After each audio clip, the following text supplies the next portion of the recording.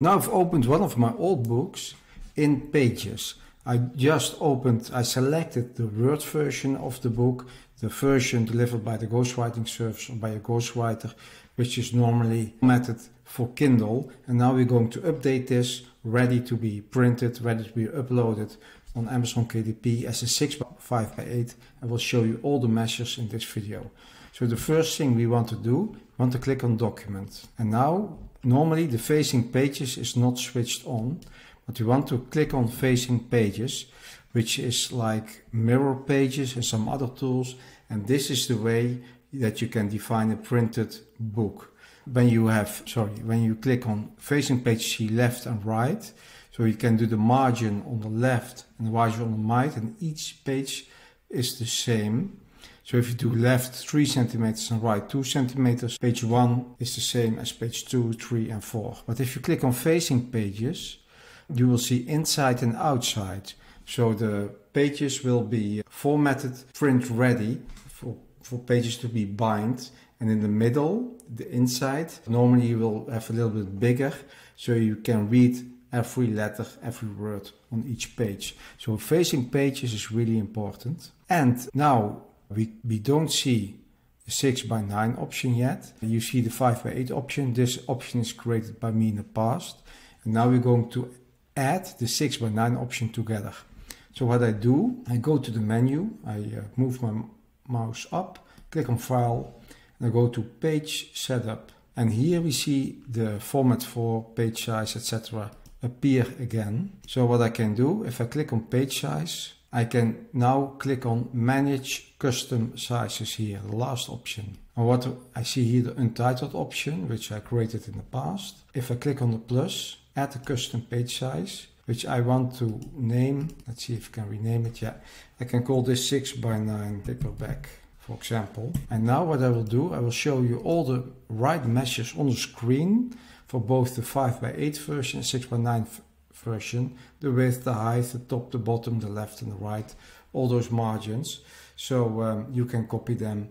So now I've filled in all the measures you saw in millimeters and I click on OK. Now you see the 6 by 9 paperback is selected with the correct millimeter size. I click on OK again. The 6 by 9 paperback is selected. Inside margin will be 2 points and the outside will be 1 point five two centimeters. So as you can see, I had to update these document margins manually and select paging faces. I will also update the header and the footer here. Update the header footer and I move the title a little. I'm going to make it a little bit smaller so it's nicer to read. And I can also make the subtitle a little bit smaller. So now I've updated the title, subtitle and author name as well. So now we have updated the page size. What we can do is we can look at the view and then show invisibles. So we see the returns and the page breaks appear on the screen. What we, we can leave the copyright page there. So now scroll down to the table of contents. You want to do two things. We want to add page numbers to the book itself in the footer and we want to update the table of contents. We can add the page numbers to the footer by double clicking in the footer and now we have the option here, insert page numbers. And then we can choose the format, just four, four of the number of pages, page four, etc, etc. I can choose, I will choose four here. Click here on the page number and I click on. Now they're aligned in the center. And now we're going to update the table of contents. So first what I'm going to do, I'm going to remove the, the current table of contents, which is optimized for the Kindle version. So with links so I'm going to select this table of contents entirely and now I'm going to delete this. Now the table of content is deleted and I can add a new one here by clicking insert and then document. You see section of document. You can just, yeah, normally you will want to add the table of contents for the whole document. So when I click, now it's generating. We will probably have to change the format. Yeah, so I have to change the format and we can do this here. So I, I clicked on format here and we see the different options. And here below we see stops, alignment and leader. We can add a new layout. If we click on here, let's try 10. That's what I do with my other books. 10, yeah, this looks better.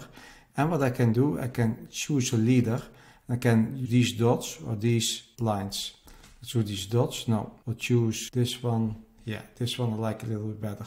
Now I've updated the top level. I also want to update the second level. So now I selected the second level.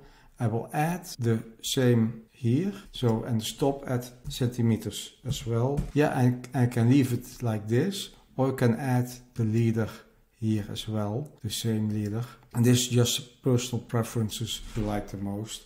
I like this, so leave it like this. Normally I would do some other editing, but for the sake of the demo, I will skip it. I see this one has three levels, which is not really necessary because we see the chapters, we see the paragraphs, and we see here the subparagraphs. I want to remove that one. To change this, I will go to the format again and by default text is selected. But if you click here on table of contents, you can say adapt table of contents and then this appears and now you can deselect heading 3 which will cause that heading 3 will up disappear. Now we'll go back to text because I, do, I see that the paragraphs aren't aligned correctly and are bold. Let's make them, so let's select these. Let's not make them bold and I want to have the page numbers again at 10 centimeters. I want the same leader here. And now update the table contents with important steps for the updates. This is just a basic update. If you want more advanced updating, I can recommend Ads Service here, which you can find at formatting.com in the, in the description of this video below. And I hope you like this video. Give it a thumbs up and if you want more like these videos and tips how you can make more money with your books, don't forget to subscribe to my YouTube channel and I see you in the next video. Bye bye.